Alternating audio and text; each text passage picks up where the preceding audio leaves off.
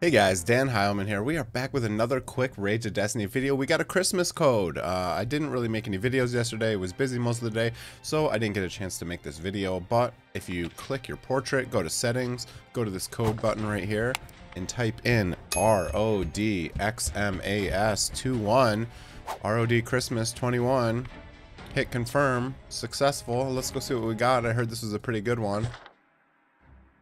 Um, 10 summons. This one's okay. Yeah, yeah. 10 summons, some dust, and some experience. So, cool.